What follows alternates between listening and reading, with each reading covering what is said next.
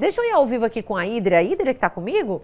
Ó, a gente tá aí, gente, na oitava edição da Balada Literária. Que maravilha, né? É um evento cultural que já é consolidado e que vai celebrar a literatura, a música, a arte em um encontro diverso e super enriquecedor. Hidra, que novidade você tem pra gente aí sobre a Balada Cultural desse ano, que já é um evento que já marca aí, já todo mundo tá esperando, né? É, verdade, viu, Stefânia? Bom dia, viu? Para você, para quem está assistindo agora, o Bom Demais, a gente fala direto aqui do Memorial Esperança Garcia, como você bem disse, oitava edição já da Balada Literária, né?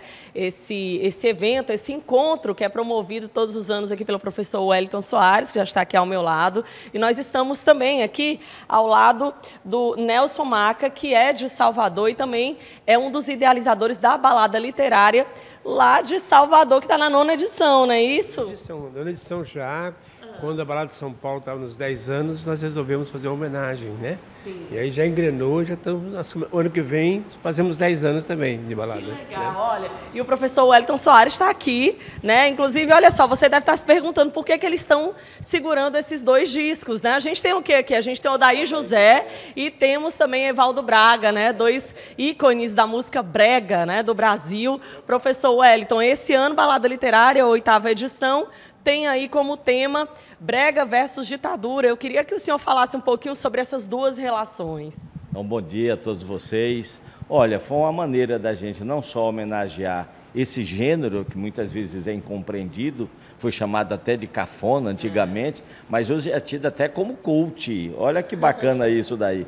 Mas, ao mesmo tempo, nós queremos resgatar uma página triste da história, da nossa história, porque essa música chamada Brega, ela foi censurada durante a ditadura militar, ou seja, de triste memória, não é? Odaí José, o Evaldo Braga, o Agnaldo Timóteo, o Valdir Soriano tiveram letras, músicas censuradas, porque a ditadura não fez apenas a censura política, mas ela fez também a censura moral. Além dos cantores, foram censuradas grandes escritoras na época, o caso da Adelaide Carraro e da Cassandra Rios. Então nós estamos passando a limpo isso aqui. Inclusive jornalistas também, né? Inclusive jornalistas, é. é. isso daí. Bom, professor, é o seguinte, eu queria que o senhor também falasse para a gente um pouquinho sobre essa programação. Na verdade, Balada Literária iniciou ontem, né, dia 25, segue até hoje aqui no Memorial Esperança Garcia. O que é que a gente vai poder conferir hoje, durante toda essa programação aí do Balada? Olha, hoje nós temos mesa redonda, já agora começando às 9 horas. Nós vamos ter também, tá certo, lançamento de livros. Nós temos essa exposição da música brega, não é? Inclusive com exemplares de vinis desses cantores famosos, não é?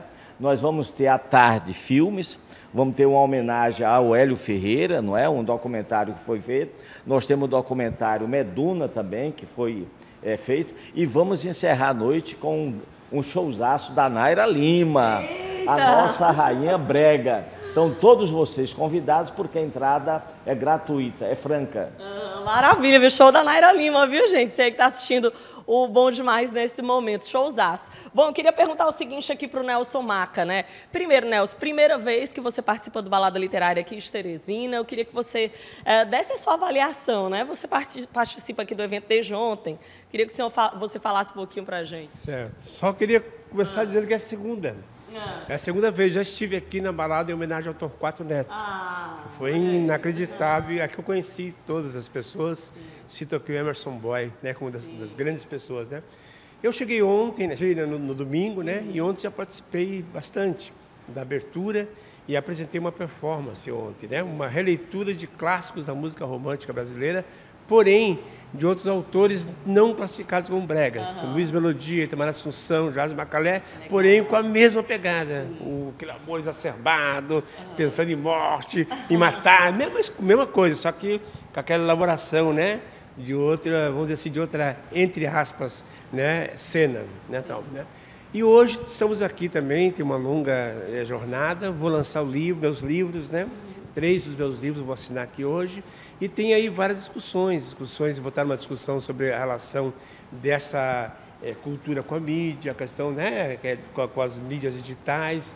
E aquilo, né? A Naira, que eu estou curioso, né? Depois eu não conhecia. Maravilhosa, viu? É, no, no começo da articulação eu não conhecia. Aí, conversando com o professor, Hélio, é, é, com o professor Wellington, aí eu fui para o YouTube. Sim. É, fiquei apaixonado, né? Assim, ela é incrível porque é mais do que uma cantora, né? Ela é um, uma personalidade, né? Então, né?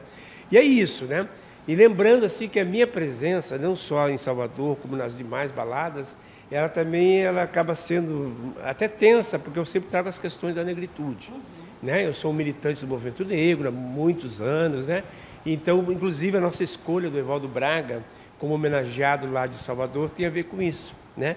E tem uma coisa incrível que vai num contraponto que, que o Hélio está falando. Esses artistas negros tinham muita visibilidade. Depois eu comecei pensando Wanda, Evaldo Braga, Reinaldo Timóteo, Fernando Mendes, né? Todos têm cabelo, usavam cabelo black mesmo, né? Então eles estavam assim altamente antenados com a cena do soul music, né? Tal. Então, o próprio Wilson Simonal também. Né? O Simonal, né? Com, né? com, com todo o seu, seu, balanço, né? E outros, outros é, é, artistas que não do Brega, mas Jair Rodrigues, né? E havia muito, e havia muito também na década de 70, por exemplo, muita umbanda, muito candomblé nas músicas. Clara Nunes, Rui Mauriti, né? Então é interessante também pensar isso, como é que isso estava presente ali, ao ponto de ter uma pessoa que era um sex symbol esse aqui, né? Era o ídolo negro, eles caíram no chacrinha e acabava com tudo, né?